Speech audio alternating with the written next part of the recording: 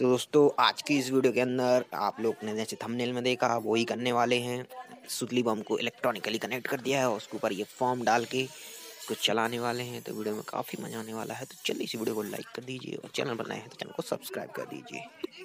इस वायर को दोस्तों, हम अपन लोगों ने गाड़ी के हॉर्न से कनेक्ट करके रखा हुआ है। जैसे ही हॉर्न बजाएँगे, बम फूट जाएगा। चलिए दोस्तों फोड़ते हैं बम को।